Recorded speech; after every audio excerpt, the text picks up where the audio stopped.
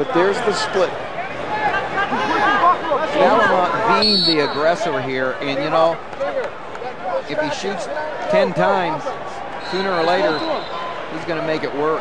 Well, he's getting in. That's one thing you have to say. He's getting in. The Kings defense thus far able to take care of it. Jarrod King, the proverbial slinky down there, leading 1-0 with under 30 seconds to go here in the second period over Dan Vallimont of Penn State. Meanwhile, top left of your corner, Andrew Howe, 2-1 over Tyler Campbell. But the riding time, you have to factor that in, clearly favoring Andrew Howe. Please consider yourselves on deck. Nice job. Work here. Right now. Jarrod King, Dan Vallimont, under 10 seconds now here in the second period. So it looks like they will go to the third period 1-0 with Jarrod King on top. And we'll send it down now to Quint and Jordan. We've seen Jarrod King use that front split as, as a counter. Uh, flexibility, partially genetic, but also something that wrestlers work on for, for a lot of hours? Sure, you can also earn your flexibility. And uh, it, it just takes persistence. Um, and, uh, and what you see King here, when he's able to split out like that, he brings a, a unique defense that people aren't used to seeing. Not everybody can split, so when somebody does, it's really tough for the guy who's on the attack to get the finish. Yeah, a guy like Ben Askren could, could split himself out, out, of some situations. What, how do you attack a guy when he counters with a split? I mean, it's it's you you really tell me how you get the back leg when it's directly behind. I mean, it's a mystery to me, and I think that's why it's so effective. And so they re-anchor and, and they have power from that position as well. Yeah, yeah. One one key is you have to keep weight on that front foot, or else they'll lift it up.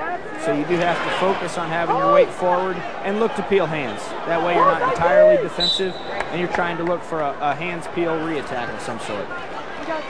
When does the official get involved here um, on the um, yeah.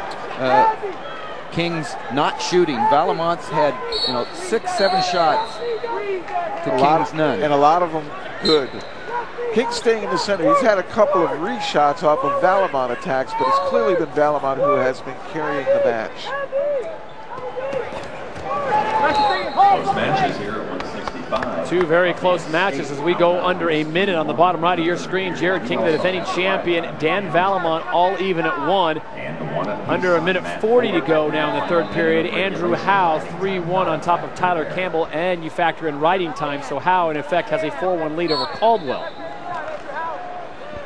And at some point here, Caldwell's going to have to start to think about taking a shot. Okay, this match is exactly where Andrew Howe, Howe wants it. This yeah. is Andrew Howe's match. He's choreographed it perfectly. He got the early takedown. He's got the riding time.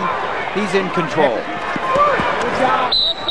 Meanwhile, Dan Vallimont has a single trying to pull Jarrod King back to the center under 30 seconds to go.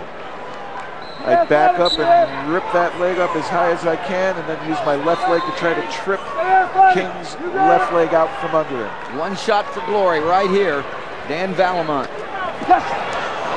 And there it is. The split comes into play yet again. He stayed square to him. He didn't get any kind of flanking angle, as we call it, to take advantage of that nice shot. And that is one of the most unique defensive sprawls you will see as the third period comes to a conclusion in the King Vallimont match.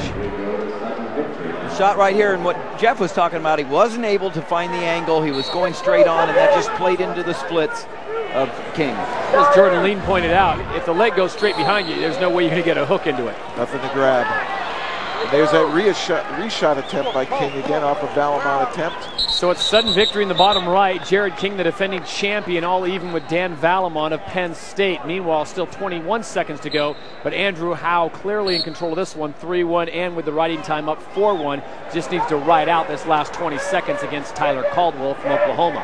We were talking about it early. Right now, Vallimont has not been come close to getting taken down. He's got to stay patient. Patience will win for Vallimont here and he's in a good position here. Will split again. My goodness. So Andrew Howe gets the victory over Tyler Caldwell, so he is into the final, and we will bring you full screen with Jarrod King and Dan Vallimont. He gets the two. He hooked up the he hooked up the head and the arm at the or head and the, uh, the leg at the same time. Got the two. He wins. He's in the finals. Talking about Dan Vallimont, Penn State. Dan Vallimont in the closing seconds of sudden victory gets the win over the defending champion Jarrod King, who seems absolutely stunned, the senior from Edinboro.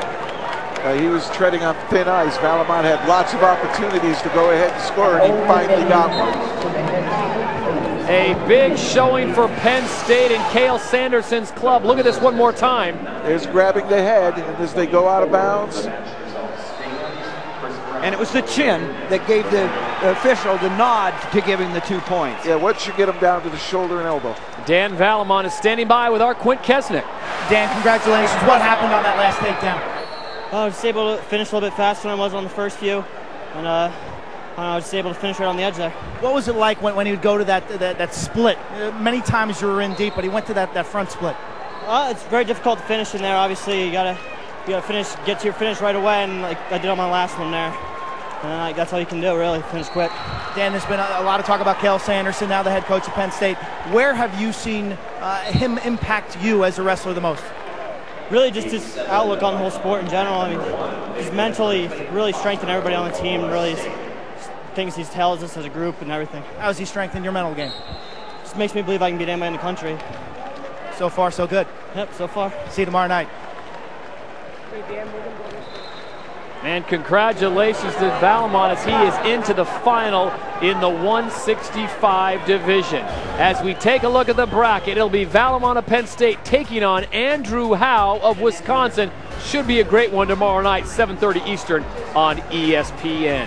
When we come back, we bump up to the 174s. Mack Lewnes keeps the perfect record intact. Does he